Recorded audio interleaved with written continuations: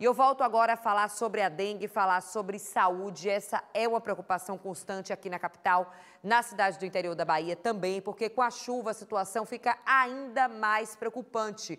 Não é isso, Lara?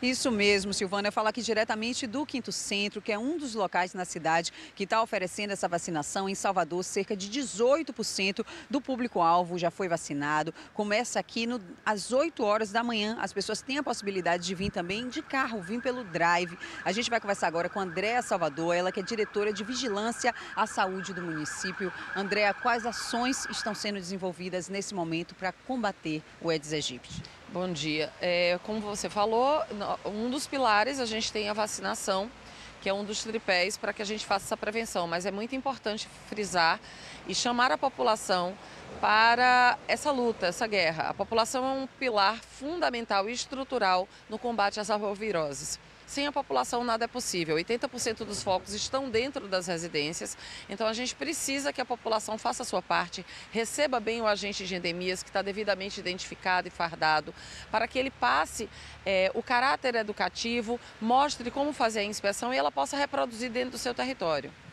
Andréa Salvador é diretora de Vigilância à Saúde do município, falando para a gente um recado importantíssimo, né, Sil? A importância da ajuda da população, da atuação da população, tomar cuidado para evitar focos do Aedes aegypti e a gente vencer essa luta. Com certeza. Obrigada, Lara.